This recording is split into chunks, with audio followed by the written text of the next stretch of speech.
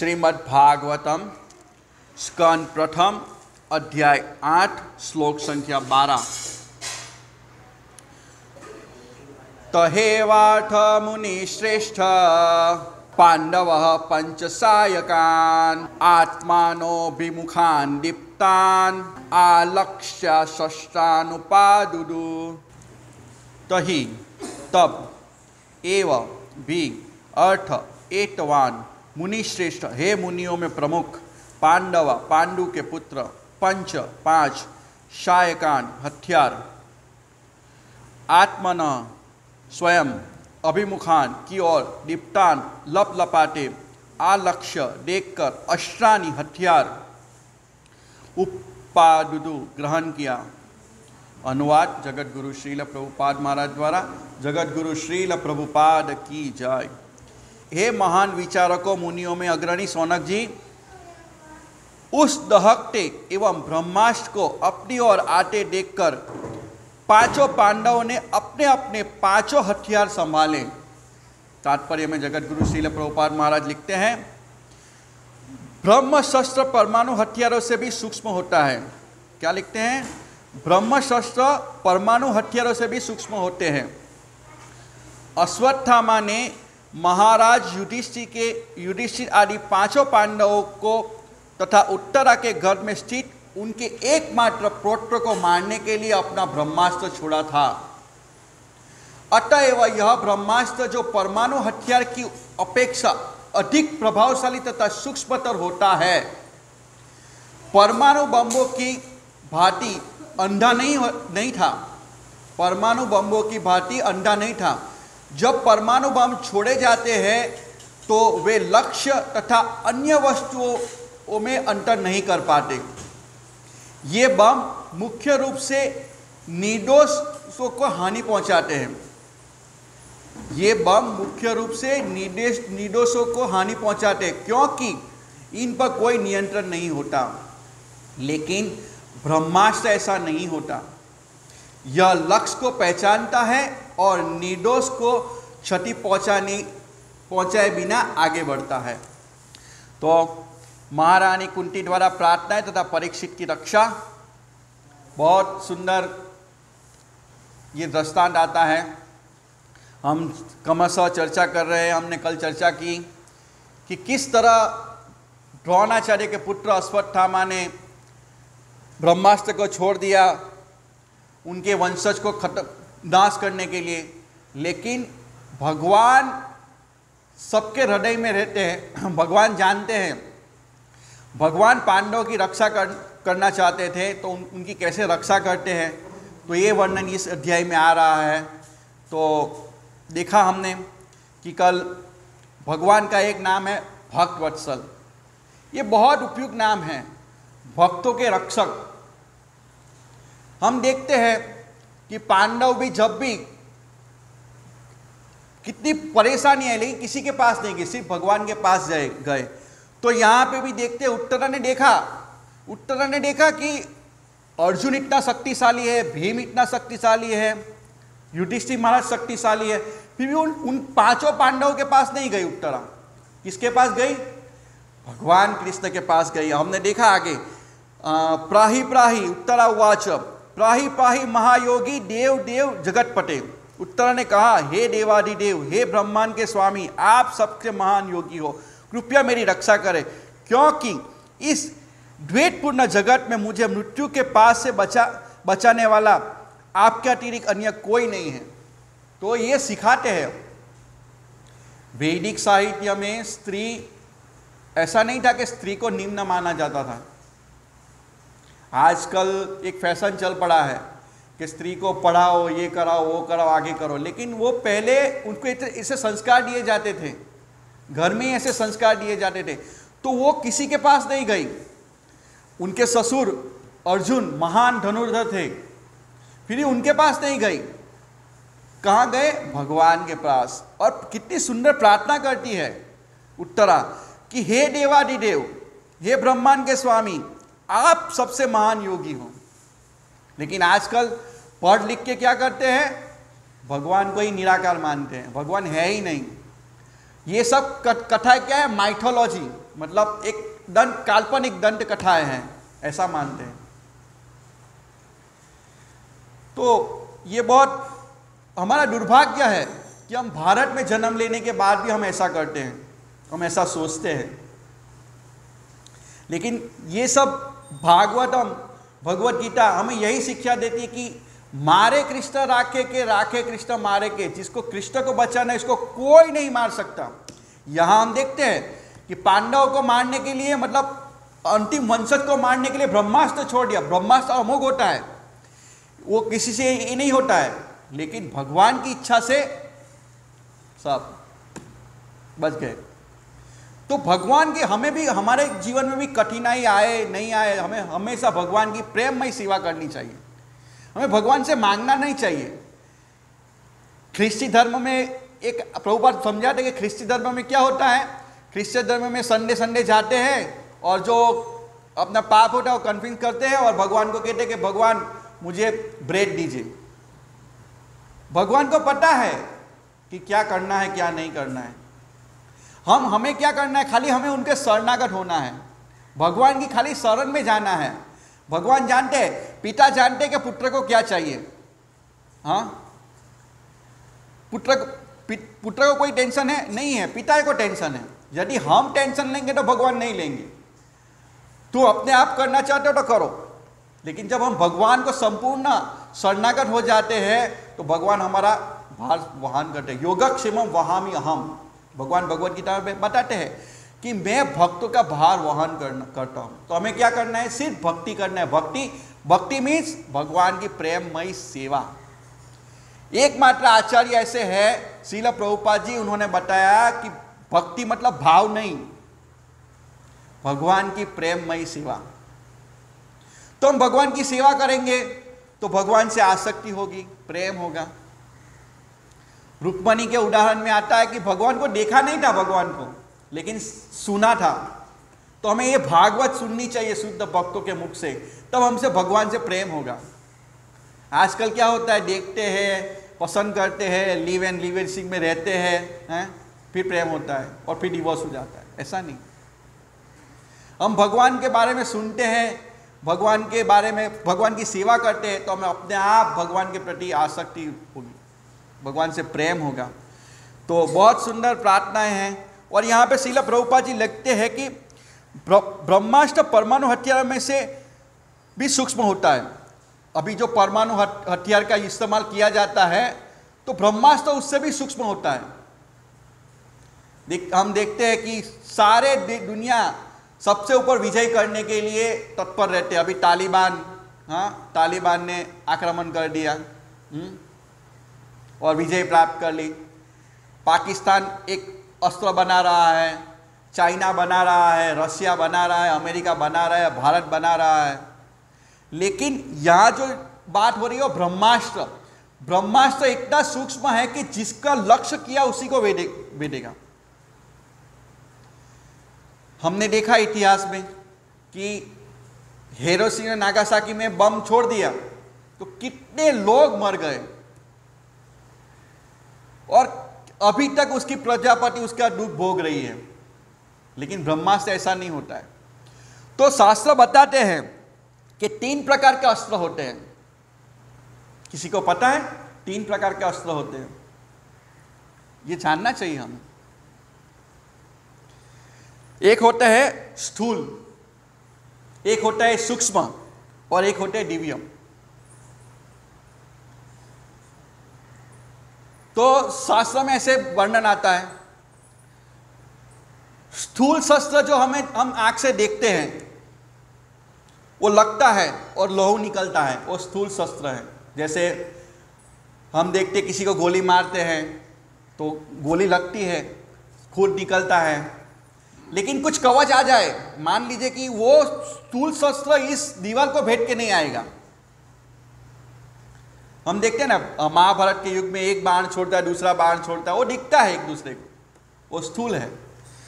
स्थूल शस्त्र की लिमिटेशन होती है। लिमिटेशन होती है कि उतनी रेंज में ही जाएगा। उसको बख्तर पहन लेंगे तो उसका असर नहीं होगा। हाँ? कवच पहन लेंगे, उसका अवसर नहीं होगा। ये स्थूल है। तो वो एक ही, उसकी लिमिट एक एक एक लिमिट है। तो यहाँ पर जी लिखे, ब्रह्मास्त्र परमाणु हत्या से भी सूक्ष्म था।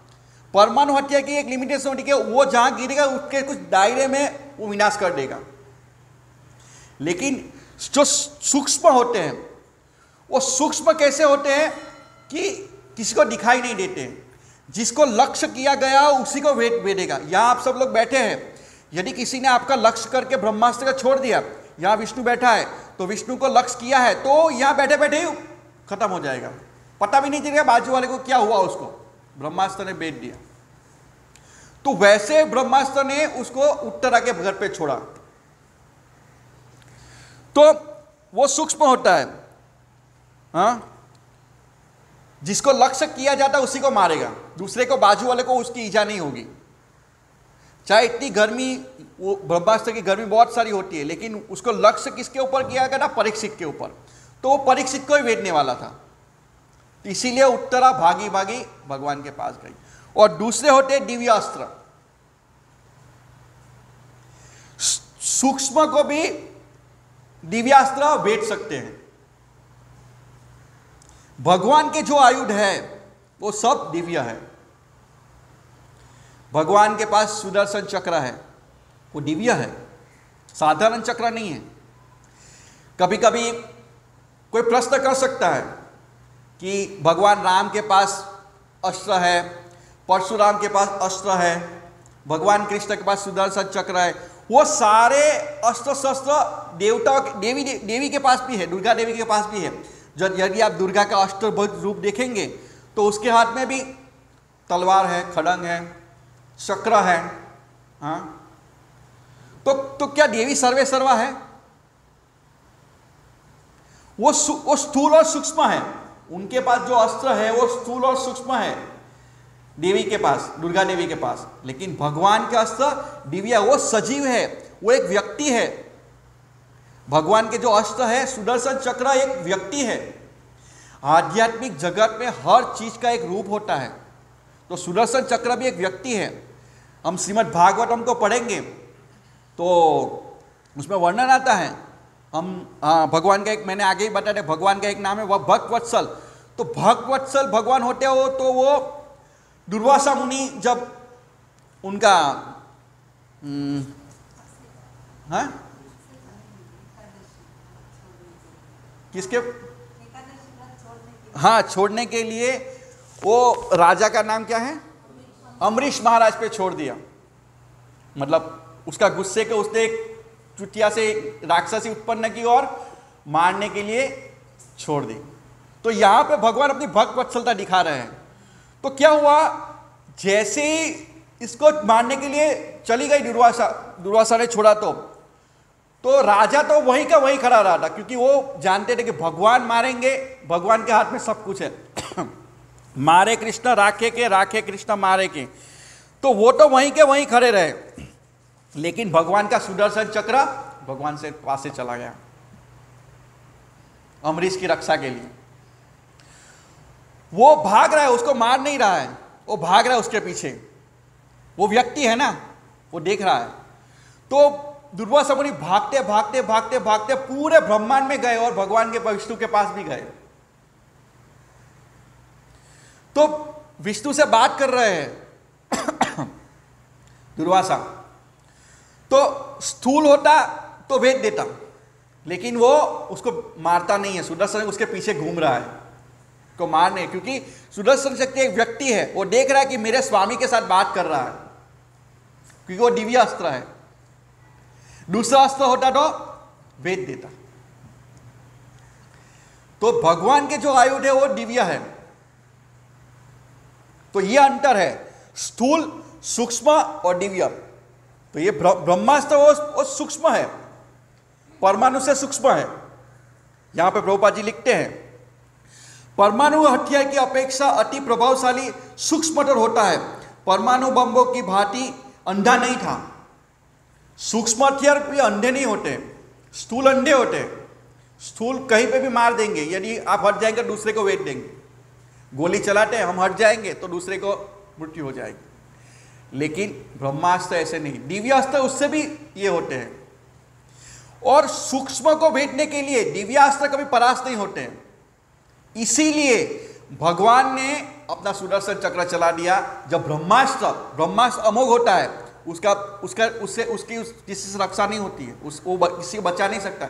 लेकिन दिव्यास्त्र उसको परास्त कर सकते हैं। इसीलिए उत्तरा के घर में भगवान ने सुदर्शन चक्र परीक्षित की रक्षा के लिए चलाया आगे आएगा। सर्वशक्तिमान भगवान श्री कृष्ण यह देखकर उनके अनन्य भाव पर जो पूर्ण रूप से शरणागत थे, महान संकट आने वाला है, उनकी रक्षा के लिए तुरंत ही अपना सुदर्शन चक्र उठा लिया। भगवान ने तुरंत ही अपना सुदर्शन चक्र चला दिया। तो दिव्यास्त्र, सुदर्शन दिव्यास्त्र है तो उसकी परीक्षा की रक्षा हो गई। तो ये समझना चाहिए। स्थूल, सूक्ष्म और दिव्य। तो जितने भी भगवान के आयुध हैं, वो दिव्य होते हैं। इसीलिए देवी देवताओं के जो अस्त्र है, वो सूक्ष्म और स्थूल हो सकते हैं, लेकिन दिव्य अस्त्र नहीं हो सकते। इसीलिए कभी कभी बुक डिस्ट्रीब्यूशन में भी जाते तो लोग कहते कि हमें देवी उपासक हूँ।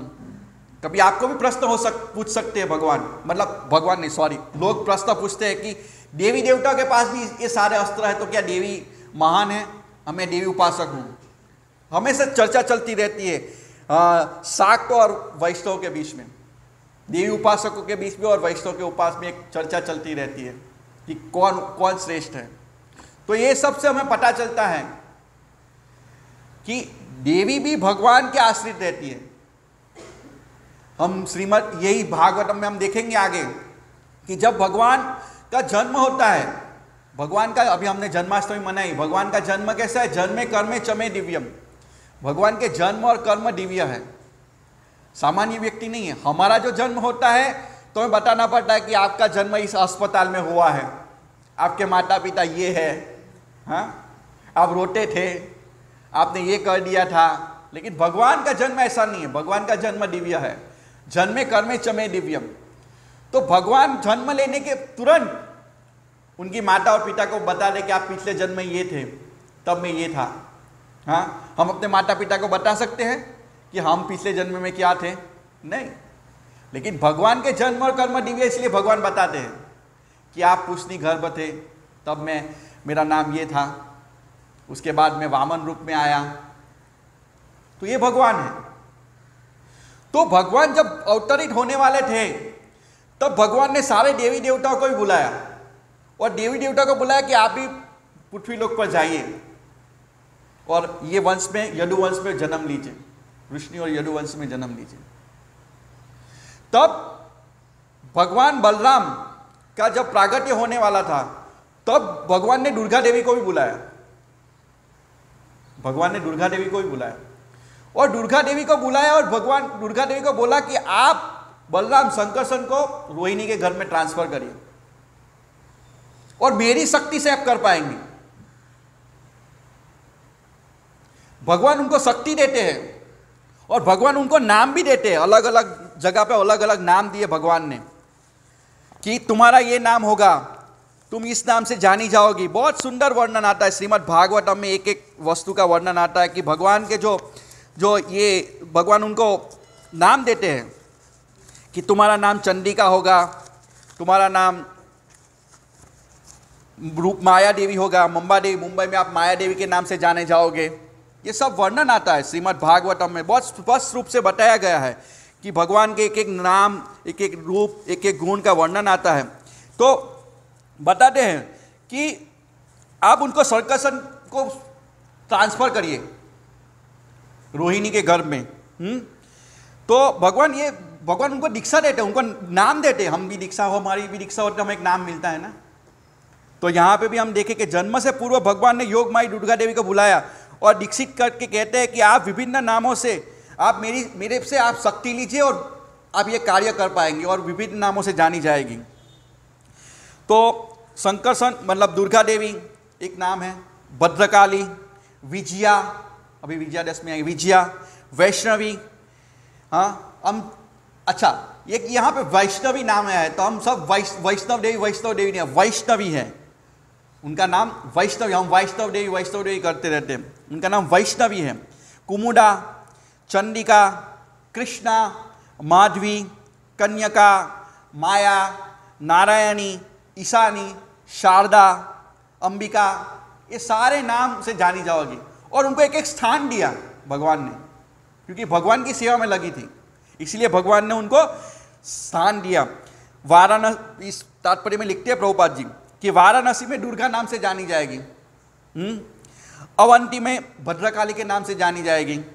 हाँ? उड़ीसा में विजया के नाम से जानी जाएगी। कोल्हापुर में महाकाल, महालक्ष्मी के नाम से जानी जाएगी। और मुंबई में मंबा देवी। हम्म? या माया देवी।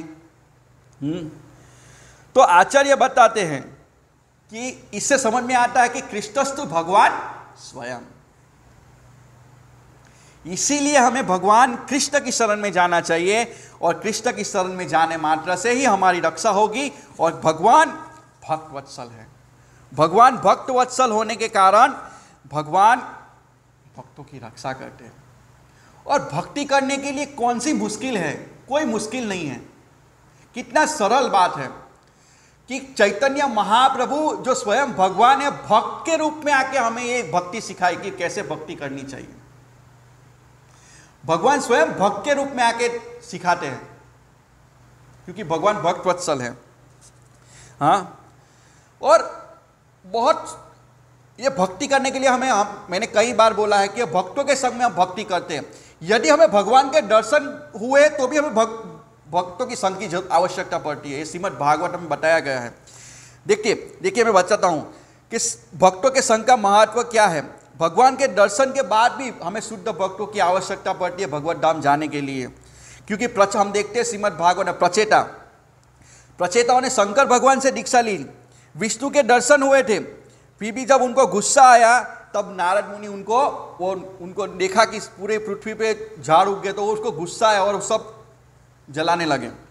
तो नारद से पास से उन्होंने शिक्षा ली और फिर वो भगवत धाम गए। ऐसे श्रीमद भागवत में वर्णन आता है।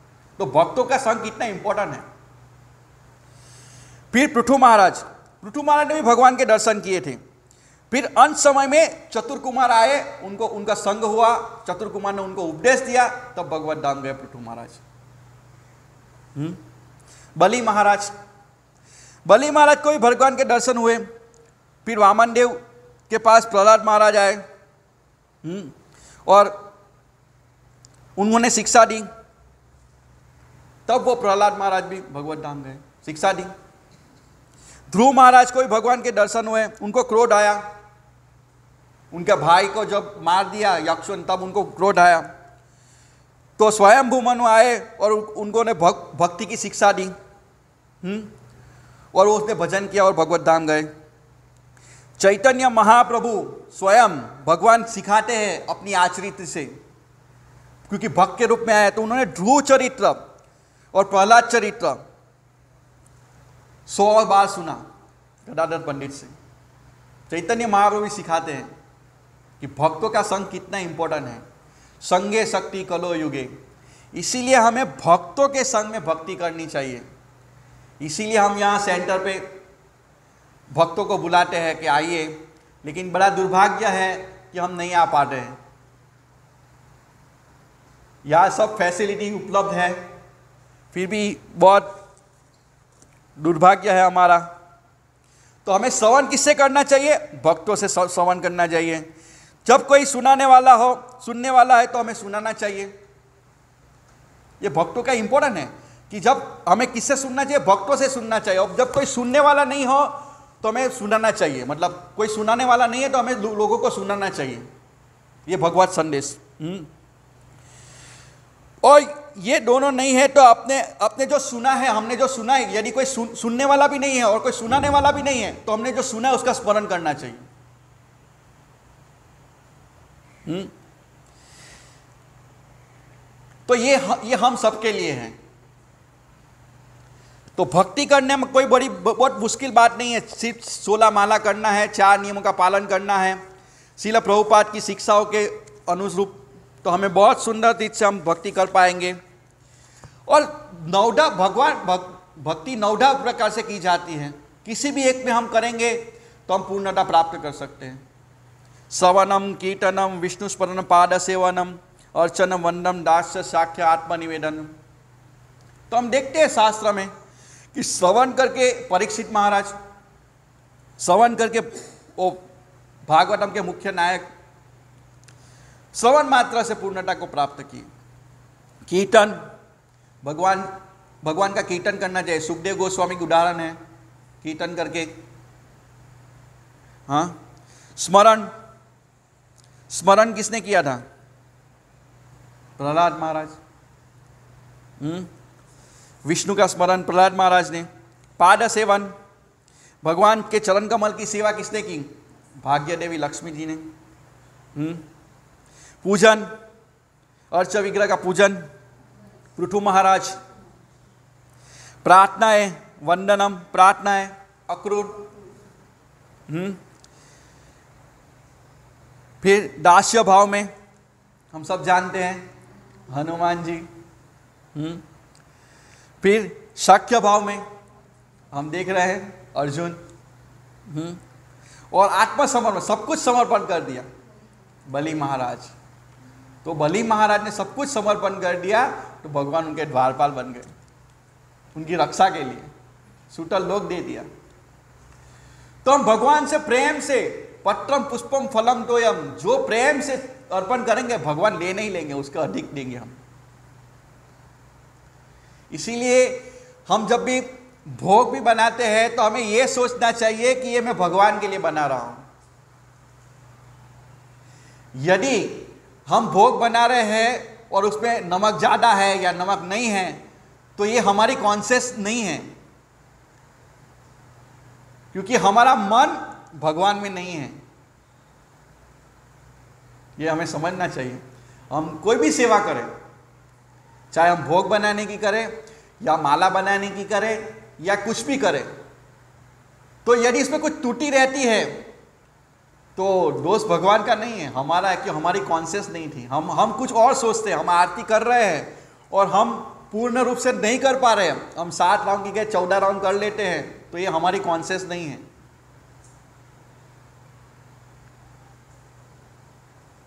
तो जो भोग बना रहे हैं, उन्हें बहुत सावधानी से रखना चाहिए कि बहुत साफ़ सुथरा रहना कि मैं किसके लिए बना रहा हूँ? मैं ये भगवान कृष्ण के लिए बना रहा हूँ। मैं माला बना रहा हूँ तो हमें देखना चाहिए कि मैं कृष्ण के लिए बना रहा हूँ। जो आरती करने वाले भक्त हैं, वो उसको सोचता है कि मैं किसकी आरती कर रहा हूँ? मैं भगवान की आरती कर रहा हूँ। गाने वाले हैं, उसको सोचना चाहिए कि मैं किसके लिए प्रसन्न के लिए गा रहा हूँ? भगवान कृष्ण के लिए गा रहा हूँ। तो कितना सुंदर है। तो भगवान की सेवा इतनी सुंदर है, इतनी मधुर है।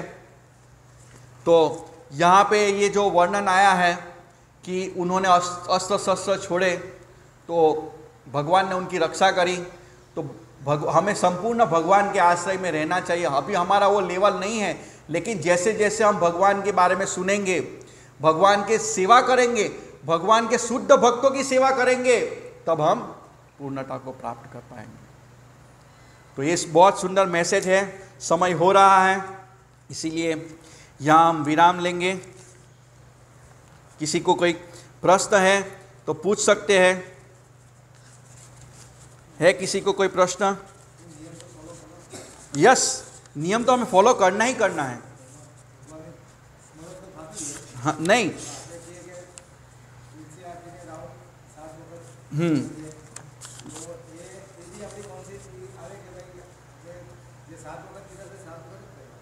हाँ ध्यान रखना चाहिए, लेकिन गुरु महाराज कृष्ण भक्ति प्रबोधि में लिखना, लिख रहे हैं कि हमारा ध्यान होना चाहिए। राउंड गिनने में हमारा स्मरण नहीं होना चाहिए। लेकिन हमारी ये हम कि हम किसकी सेवा कर रहे हैं, वो हमें स्मरण होना चाहिए। रावण इतने इंपॉर्टेंट नहीं है हमारा लिखते हैं कृष्ण भक्ति प्रबोधि में कि रावण इतने इंपॉर्टेंट नहीं है, लेकिन हम गलती कर रहे हैं तो हमें समझना चाहिए कि हमारा कॉन्शियस ठीक नहीं है, हमारा ध्यान नहीं है, तभी हम गलती कर रहे हैं, नहीं तो हमारा गलती नहीं होगा। ये भी हमें समझना चाहिए।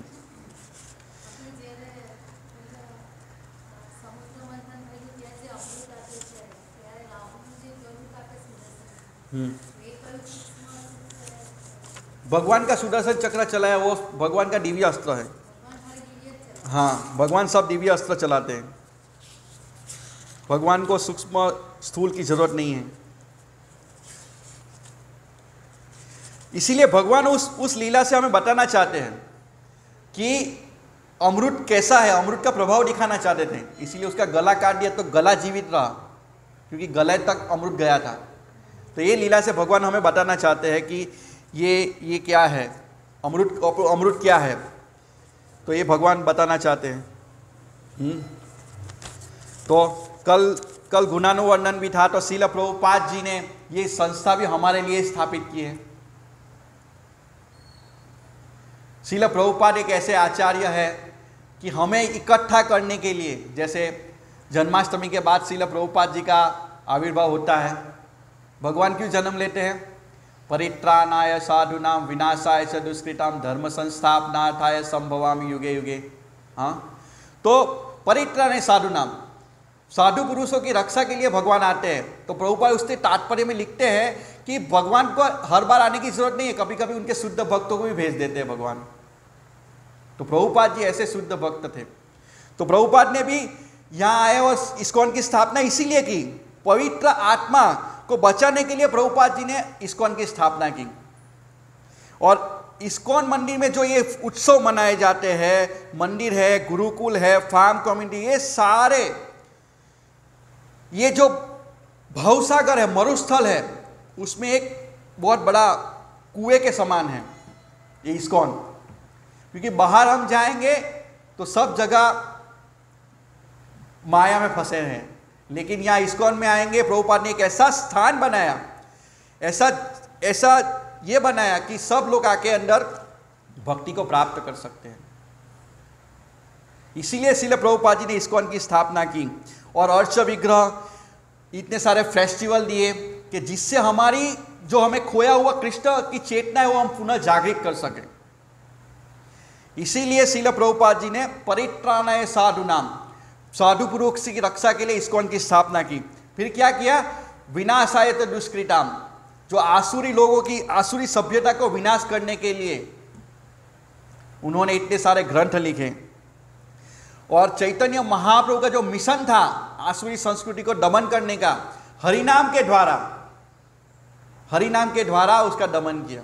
चैतन्य महाप्रभु का मिशन को आगे बढ़ाने के लिए, शिला प्रभुपाद ने कल आसुरी प्रवृत्ति को दलन करने के लिए और कृष्ण भावना के विरुद्ध जो कोई बात है, वो शिला प्रभुपाद ने अपने शब्दों के द्वारा उसको बेच दिया, उसकी उसकी उसकी, उसको खत्म कर दिया, इस आसुरी सभ्यता को खत्म कर दिया। शिला प्रभुपाद जी के जो ग्रंथ हैं, वो इतने दिव्य है कि बड़े बड़े वैज्ञानिकों को भी परास करते हैं और भगवान की स्थापना करते हैं उनके हृदय में। आज भी हम प्रभुपाद के ग्रंथ पढ़ेंगे तो देखेंगे कि उसके जो वाक्य है वो ढाल से भी तेज हैं। हमारी आसुरी सभ्यता को खत्म करेंगे और धर्म की स्थापना, धर्म संस्थापना है और धर्म की स्थापना करेंगे। हमारे हृदय में भी जो आसुरी भावना है, हम शिल प्रभुपाद जी के ग्रंथ पढ़ेंगे शिल प्रभुपाद की वाणी सुनेंगे, प्रभुपाद के लेक्चर सुनेंगे तो हमारा जो आसुरी प्रवृत्ति वो खत्म हो जाएगा और धर्म की स्थापना होगी। क्रिस्तस्तु भगवान स्वयं। ये सिर्फ़ शिल प्रभुपाद जी ने स्थापित किया, क्रिस्तस्तु भगवान स्वयं। और शिल प्रभुपाद जी एकमात्र आचार्य है, जिन्होंने भक्ति को भाव नहीं बताया। भक्ति को प्रेममय भगवान की सेवा बताया है। तो ये शिल प्रभुपाद की बड़ी कृपा है और शिल प्रभुपाद की कृपा से हमें ये सेंटर मिला है तो हमें इसको आगे बढ़ाना है। तो हमें ये भागवत क्लास में आज चार पाँच लोग बैठे हैं, ये पूरा हॉल भर जाएगा एक दिन हम प्रचार, जितना हम प्रचार करेंगे तो हम ये कार्य कर पाएँगे। हरे कृष्ण। शील प्रभुपाद की ग्रंथराज श्रीमद भागवतम की जय